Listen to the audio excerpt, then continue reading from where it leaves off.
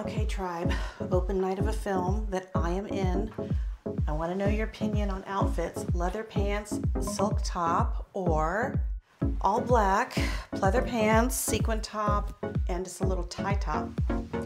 Satin animal print dress with the same tie top. I need your votes.